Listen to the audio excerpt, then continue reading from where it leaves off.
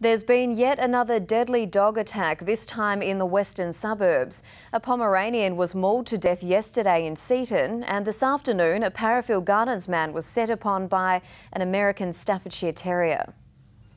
What was meant to be an afternoon walk quickly turned into a vicious attack. I swung around and there it was, this black and white dog hanging on my ankle. I shook my leg and it wouldn't go off, so I gave it a swift kick with my left leg. Brian Hurd sustaining nasty cuts in the process.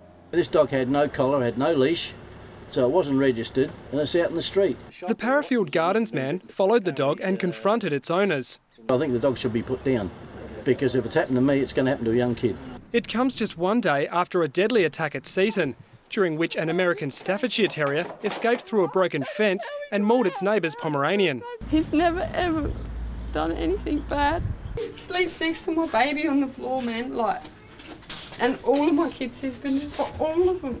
The distraught owner handed the dog over to authorities while the local council investigates. These attacks are just the latest in a spate of incidents over recent weeks, and fellow dog owners are on guard. Especially when you've got a small dog like this one coming now.